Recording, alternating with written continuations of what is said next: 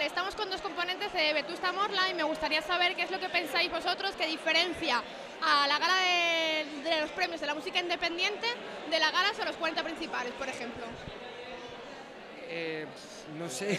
Hombre, no, es, eh, la- es- es obvia, ¿no? Eh, la gala en la que estamos, de la música independiente, está formada por diferentes eh, empresas que están dentro de, eh, de una de la, de la industria de una forma independiente o más o menos independiente.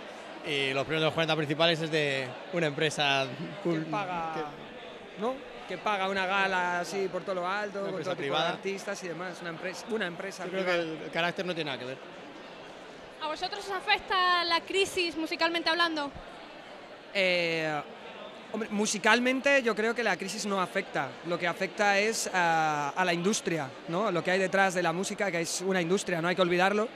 Y sí, sí afecta, todo afecta porque bueno, te tienes que ajustar a, a- a los nuevos tiempos un poco. Entonces, pues eh, todo se va reduciendo, recortando, mermando, todo, todo va mermando.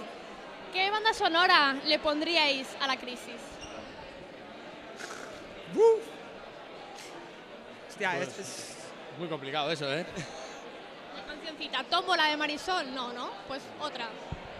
Hombre, la de. em, yo siempre me imagino las moneditas sonando de cabaret, ¿no? De Liza Minnelli moviendo el money, money, money, money, money, money, money, money. Algo así. ¿Y vosotros sois más de copyright o de copyleft? Somos copidies ambidiestros.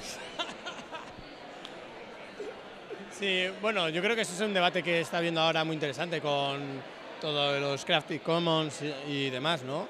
Eh, estamos en un proceso ahora mismo en el que eh, está habiendo mucho debate en torno a ello y gente está acercando un poco a todos este tipo de derechos y nosotros estamos funcionando hasta ahora siempre con copyright, pero bueno, eh, estamos yo creo en un proceso de evolución en el cual se están madurando y los, los cambios yo creo que poco a poco pues irán notando ¿no? a lo largo que a medida que el tiempo vaya pasando y vaya calando todo esto en la sociedad. Bueno, vamos al bloque de preguntas internacionales. Eh, Argentina es el país que está invitado a esta gala este año. ¿Creéis que podría nacionalizar también esta gala como hizo con IPF? No lo sé, no, no sé cómo andan de galas por allí. Es imposible porque son empresas españolas, no se puede nacionalizar.